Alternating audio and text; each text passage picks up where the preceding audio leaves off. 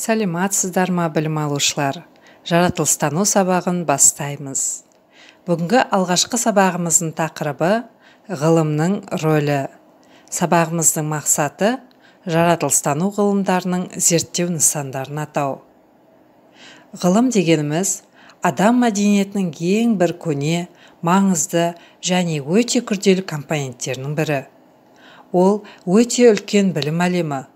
Ол бізге табиғатты өзгертуге және оны адамның қажеттіліктерін қанағаттандыруға лайықты етуге мүмкіндік береді. Ғылым күрделі зерттеу жүйесі.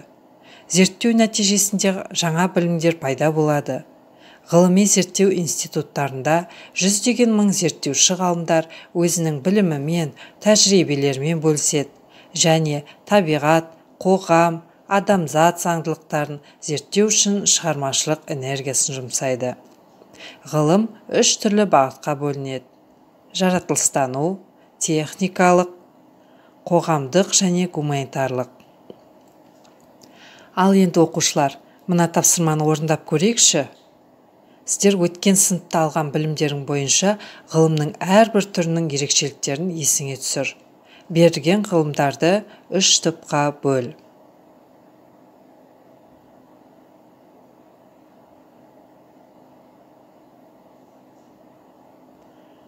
Ал енді жауаптарыңызды тексеріп жіберіңдер.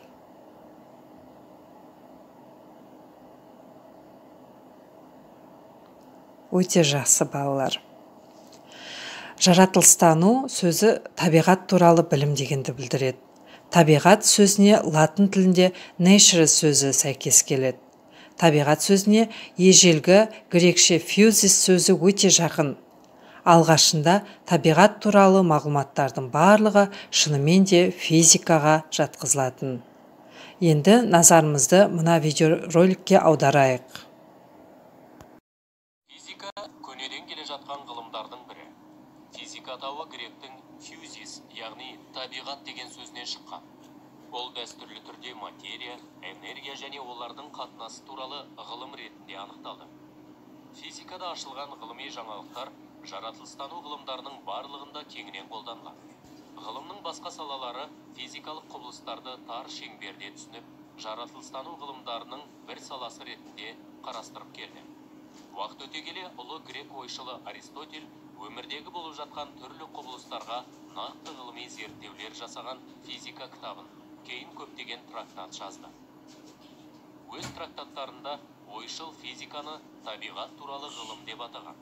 Аристотельге физиканың атасы деген ат берілген аристотельдің ілімін әбу насыр әл фараби жалғастырды. Кейінгі ғалымдар аристотельдің бірінші ұстаз ал әл фарабиді екінші ұстаз деп санайды. Бұл ғалымдар барлық ғылым салаларының дамуына соның ішінде физика мен астрономияға айтарлықтай үлес қосты. Жаратылыстану ғылымының міндеті табиғат заңдарын зерттеу және оларды адам мүддесі үшін пайдалануға жәрдем жасау болып табылады. Жаратылыстанудың ғылыми білімдері адамдардың тәжірибе жүзінде жасаған іс әрекеттері барысында алынған және жинақталған бақылауларды қорытындылау нәтижесінде жасалады. Жаратылыстану ғылымдарына физика химия биология астрономия география геология биогеография океанология биохимияны жатқызады. Сонымен қатар осы аталғандардың бірігуінен туындаған бірқатар ғылымдар да бар. Олар космология астрофизика физикалық химия биофизика және тағы басқа. Жаратылыстану ғылымдарының жүйесін баспалдақ түрінде көрсетуге болады екен. Ондағы әрбір саты өзінен кейінгі ғылымға негіз болып табылады және де өз кезегінде өзінің алдындағы ғылымның деректеріне сүйенеді. Барлық жаратылыстану ғылымдарының іргетасы негізі физика болып табылады. Оның зерттеу нысаны денелер олардың қозғалысы түрленуі мен түрлі деңгейдегі пішіндері. Бүгінгі күні физиканы білмейінше жаратылыстану ғылымдарының бірде біреуімен айналысу мүмкін емес. Физика өзінің ішінде бірнеше бөлімдерге бөлінеді. Олар арнайы тақырыбы мен зерттеу тәсілдері бойынша ерекшеленеді. Олардың ішінде маңыздысы механика болып табылады. Келесі саты химия. Ол химиялық элементтерді олардың қасиеттерін түрленуін және қосылыстарын зерттейді. Химия органикалық және биорганикалық химия материалдар химиясы және басқа да бөлімдерге бөлінеді. Өз кезегінде химия биологияның негізін құрайды. Биология ол жасушалар мен одан туындайтындардың барлығын зерттейтін тірі нәрсе туралы ғылым. Биологиялық білімнің негізінде заттар химиялық элементтер туралы мағлұматтар жатыр. Биологиялық ғылымдардың арасынан ботаниканы зоологияны және басқаларын бөліп айту керек. Жер туралы ғылымдар жаратылыстану құрылымының келесі элементі болып табылады. Бұл топқа геология география экология және басқалары кіреді. Олардың барлығы да физикалық химиялық және биологиялық құбылыстар мен үдерістердің күрделі үйлесімі болып табылады. Біздің ғаламшардың құрылысы мен дамуын қарастырады. Табиғат туралы бұл білім баспалдағын космология аяқтайды. Ол ғаламды біртұтас нәрсе ретінде зерттейді. Бұл білімнің бөлімдері астрономия мен космогония болып табылады. Олар ғаламшар жұлдыз галактикалардың және тағы басқа құрылымы мен жаратылысын зерттейді. Осы деңгейде физикаға жаңаша оралу жүзеге асады. Бұл жаратылыстанудың циклдік және тұйықталған сипаты туралы айтуға мүмкіндік береді. Ол сірә табиғаттың өзінің маңызды қасиеттерінің бірі болып табылады. Жаратылыстану құрылымы жоғарыда аталған ғылымдармен шектелмейді. Өйткені ғылымда ғылыми білімдерді жіктеу мен біріктірудің күрделі үдерістері әлі де жүріп жатыр.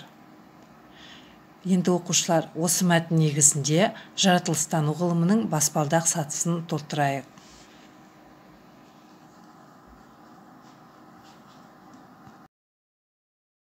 Жарайсыңдар балалар. Осылай өзіне көптеген қосымша және аралық элементтерді қоса отырып жаратылыстану ғылымдарының баспалдағы айтарлықтай күрделене түсті. Параграфта жаратылыстану ғылымдары мен оларды зерттейтін нысандар туралы айтылады.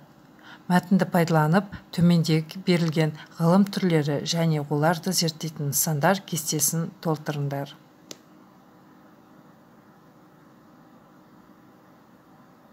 Өте жақсы балалар. Енді мына тапсырмаларды үй тапсырмасы ретінде орындап жауаптарыңды пән мұғалімдеріне жібересіңдер.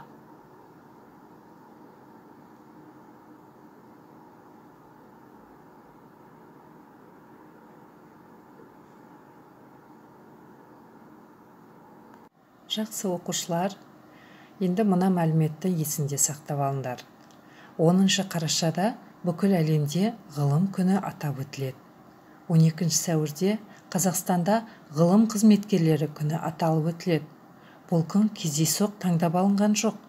Дәл осы күні көрнекті қазақстандық академик геолог ғалым және қазақстан ғылым академиясының тұңғыш президенті қаныш имантайұлы сәтбаев дүниеге келген.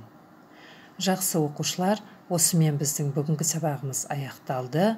Бағдаршам рефлексиясы арқылы өз жетістіктеріңді бағалай қойыңдар.